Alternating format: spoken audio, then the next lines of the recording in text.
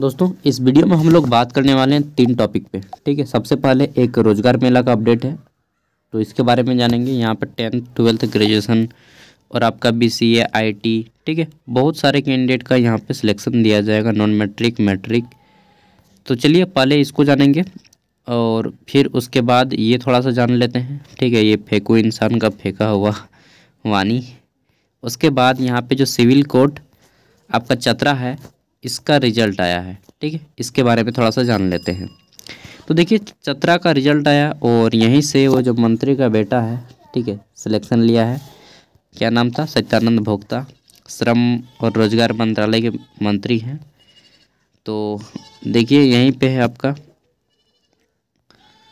और total post है तेरह गो, ठीक है? टोटल कितना पोस्ट है? यहाँ पे तेरह गो पोस्ट पे सिलेक्शन दिया गया है। देखिएगा अभी ध्यान से मैं कुछ चीज़ें दिखाऊँगा। गौर करिएगा। तेरह को पोस्ट निकला था प्यून का, चपरासी का। तेरह को वेटिंग लिस्ट है, ठीक है? फिर आपका एगो पोस्ट निकला है मैसेंजर का एगो वेटिंग लिस्ट है। तेरह एक चौदह का हो गया। फिर आपका यहाँ पे एगो पोस्ट निकला था दफ्तरी का, ठीक है? तो कितना हो गया? पंद्रह को, और एगो वेटिंग लिस्ट पे है। सिलेक्टेड एक होता है और एक वेटिंग लिस्ट होता है। पंद्रह हो गया। तीन गो नाइट गार्ड का निकला था तो पंद्रह तीन अठारह को हो गया, और वेटिंग लिस्ट में भी तीन गो आदमी हैं। और एक निकला था ड्राइवर का। तो ये आपका अट्ठारह और एक उन्नीस को हो गया, ठीक है? उन्नीस आदमी का यहाँ पे हो गया वैकेंसी जो रिज़ल्ट आया है। अब देखिए यहाँ पे पोस्ट कितनी निकली हुई थी? जब वैकेंसी निकला था तो कितने पोस्टों पे वैकेंसी निकली हुई थी, ठीक है? तो देखिए यहाँ पे ग्यारह को आपका प्यून था एगो ये, बारह गो एगो ये, तेरह गो एगो इसका, चौदह गो और एक चौदह और तीन। आपका सत्रह को। और सिलेक्शन कितना आदमी को दिया जा रहा है? उन्नीस आदमी का। वैकेंसी कितनी आदमी की आई थी? सत्रह आदमी की। कितने आदमी एक्स्ट्रा हुए? दो आदमी। ठीक है? चलिए। ये सब चीज़ें मैं आपको दिखा दे रहा हूँ, ताकि आप लोग को अनुमान हो सके कि क्या होता है, क्या चलता है। ठीक है? चलिए। जो भी है, अब हम लोग बात कर लेते हैं। ये कल बोला है हमारे फेंको इंसान सीएम ने कि झारखंड में चालीस हज़ार पदों पर नियुक्ति जल्द होगी। फेंको, पूरी क्षमता के साथ फेंको। वो वीडियो देखे है ना? मैं वही बोल रहा हूँ, फेंको, जितना ताकत है उतनी ज़ोर के साथ फेंको। पाँच साल तो फेंक ही दिया। पाँचवा साल भी पूरा ही तो। फिर क्या बोला 2025 के बाद झारखंड बनेगा अड़ंगा प्रदेश। अड़ंगा नहीं, अगर तुम रह गया ना तो लंगड़ा प्रदेश बन जाएगा। अंगड़ा नहीं, लंगड़ा प्रदेश सॉरी अंगड़ा प्रदेश ना? अंगड़ा नहीं, लंगड़ा प्रदेश बन जाएगा। फेंकू इंसान। और क्या बोलता है कि मेरे रहते हुए आदिवासियों को कुछ नहीं हो सकता। अरे यार, तुम नहीं भी रहेगा ना, फिर भी आदिवासी तुमसे बेटर लाइफ जिएगा। ठीक है? अपनी बुद्धि नहीं है जिसके पास ना, वैसा सीएम हम लोग चुन लिए हैं। चलिए, कोई बात नहीं, गलती एक बार हो गई है। नेक्स्ट टाइम से रिपीट नहीं करना है। अब देखिए, झारखंड सरकार श्रम नियोजन, प्रशिक्षण एवं कौशल विकास विभाग, गुमला की ओर से यह वैकेंसी निकाली गई है। मैंने फ़ोन भी किया कि, भाई साहब पीडीएफ अपलोड कर दीजिए वेबसाइट पे, लेकिन ये लोग रिस्पॉन्स ही नहीं करते हैं। चलिए, क्या बताएँ? हमको ही मेहनत करना पड़ रहा है थोड़ा सा राज्य के बेरोजगार युवक और युवतियों को निजी क्षेत्र में प्राइवेट जॉब दिलाना है। सिंपल सी बात है, ना? कि मॉडल कैरियर सेंटर गुमला में, यह जो लगने वाला जा रहा है, कैंप कहाँ पे लगेगा? मॉडल कैरियर सेंटर गुमला, नगर भवन गुमला परिसर में, ठीक है? कहाँ पे? मॉडल कैरियर सेंटर गुमला, नगर भवन गुमला परिसर में, दिनांक सात बारह दो हज़ार तेईस। कब? सात तारीख को, बृहस्पतिवार को लगेगा, दस से चार बजे के बीच में, साढ़े दस से चार बजे के बीच में रोज़गार मेला का आयोजन किया जाएगा, नगर भवन गुमला परिसर, ठीक है? मॉडल करियर सेंटर गुमला स्थान नगर भवन गुमला परिसर में।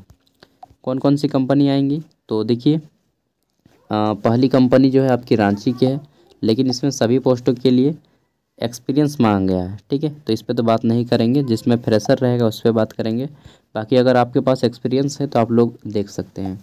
फिर है आपका नेशनल कैरियर सर्विस ठीक है? तो ये आपका आ, है क्या है जी? है हाल बस स्टैंड रोड रांची। यहाँ पे आपकी पोस्ट है बीस गो। और ये आपका तो एक्सपीरियंस मांग रहा है जी। छोड़िए एक्सपीरियंस वाले पे बात नहीं करेंगे। नेक्स्ट देख लेते हैं तो फ्रेशर जहाँ पे रहेगा, वहीं पे हम लोग बात करना है। एक मिनट एक्सपीरियंस नहीं है सॉरी एज लिमिट है। एक्सपीरियंस इसमें नहीं है, और क्वालिफ़िकेशन भी नहीं बोला गया है कि क्या क्वालिफ़िकेशन चाहिए। तो छोड़िए, इसके ऊपर भी नहीं बोलेंगे। क्वालिफ़िकेशन तो होना चाहिए ना भाई। उसके बिना कैसे काम चलेगा? चलिए, इसमें बोला गया है क्वालिफ़िकेशन देखिए, ये आपका जो है आउट ऑफ़ स्टेट की कंपनी है। तो आउट ऑफ़ स्टेट में ये सारे हैं। इसमें भी अच्छा खासा नहीं है। फोर नंबर पे देख लेते हैं। तो चौथी जो पोस्ट है, यहाँ पे आपको देखने को मिल रहा है प्रदेश, आंध्र प्रदेश, अहमदाबाद, ये भी अच्छा नहीं है। पाँचवा नंबर जो है, ये भी आउट ऑफ़ स्टेट है। छठे नंबर की जो कंपनी है, ये भी आउट ऑफ़ स्टेट है। सातवें नंबर की कंपनी भी आउट ऑफ़ स्टेट है। आठवें नंबर की कंपनी में आपका झारखंड के अंदर में है। चलिए इसमें देख लेते हैं। तो S I S private limited ये आपका छत्तीसगढ़ की है। लेकिन यहाँ पे जो बोला गया है पोस्टिंग आपकी जमशेदपुर, रांची, बोकारो या हजारीबाग या फिर धनबाद में होगा। ठीक है? पहला पोस्ट है आपका सिक्योरिटी गार्ड के लिए। ओनली फॉर मेल कैंडिडेट यानी कि पुरुष उम्मीदवार एक सौ दसवीं पास चाहिए इक्कीस से पैंतीस साल होनी चाहिए बारह से पंद्रह हज़ार सैलरी दिया जाएगा ठीक है? फिर है सिक्योरिटी सुपरवाइज़र की पोस्ट है एक सौ ट्वेल्थ पास चाहिए इक्कीस से पैंतीस साल होनी चाहिए चौदह से बीस हज़ार रुपये सैलरी दिया जाएगा और ये झारखंड के अंदर ही आपकी पोस्टिंग होगी ठीक है? आठवीं नंबर की पोस्ट फिर देख लेते हैं नाइन नंबर की पोस्ट तो आपके गुजरात की है दस नंबर की पोस्ट में नोएडा और अहमदाबाद और जयपुर बुलाया गया है हम्म, हम्म, हम्म, तो अंतिम जो पोस्ट बचा है आपका बारह नंबर, ये आपको गुमला बुला रहा है। ठीक है LIC की ओर से है और एजेंसी एंड लाइसेंस, रुकिए एलआईसी ऑफ़ इंडिया ठीक है, agency and licence of LIC government of India एक सौ पोस्ट है टेंथ, ट्वेल्थ ग्रेजुएशन वालों के लिए। इक्कीस से पैंसठ साल के बीच उम्र मांगा गया है, पैंतीस परसेंट कमीशन दिया जाएगा। गुमला में ही आपको काम करना होगा। ठीक है तो बहुत कम पोस्ट है, अच्छी तरह से अगर हम लोग बोलें तो एक केवल एट नंबर पोस्ट अच्छा है, बाकी सब आउट ऑफ़ स्टेट है। अगर आप झारखंड के बाहर जाकर काम करना चाहते हैं तो कर सकते हैं। और अगर आपके पास क्वालिफिकेशन है एक्सपीरियंस है तो आप लोग ये सारी कंपनीज़ में भी जा सकते हैं। जैसे कि यहाँ पे बोला गया है आपका, रांची वाली कंपनी है इसमें। देखिए, ये वाला, नौ बार नौ बार नौ बार, ये वाला। इसमें पच्चीस सौ रुपया पर मंथ बोला गया है। पच्चीस सौ रुपया पर मंथ पच्चीस सौ रुपया पर मंथ यार ये भाई पच्चीस सौ टका में कौन काम करेगा? लेकिन काम भी वैसा ही दिया जाएगा ऑटोमोबाइल रिपेयर पच्चीस सौ है या पच्चीस हज़ार है यार, यहाँ पे तो पच्चीस सौ लिखा है। आगे देख लेते हैं तो फिर यहाँ पे फ़र्स्ट नंबर जो है आपका, इसमें क्वालिफिकेशन मांग दिया गया है, लेकिन आपका एक्सपीरियंस भी छः साल का चाहिए, ठीक है, और सैलरी पंद्रह हज़ार छः सौ है। सेविंग मशीन यानी कि सिलाई मशीन ऑपरेटर के लिए, ठीक है? अगर आप सिलाई मशीन चलाना जानते हैं तो यहाँ पे आपको पंद्रह हज़ार छः सौ रुपया दिया जाएगा, ठीक है? झारखंड में ही काम करना होगा। मेल एंड फीमेल दोनों के लिए, पुरुष और महिला उम्मीदवार दोनों के लिए। सेविंग मशीन मतलब सिलाई मशीन, ठीक है? फिर है आपका यहाँ पे, और दसवीं पास होने चाहिए, रिटेल सेल्स एसोसिएट्स, ठीक है? इसमें आपका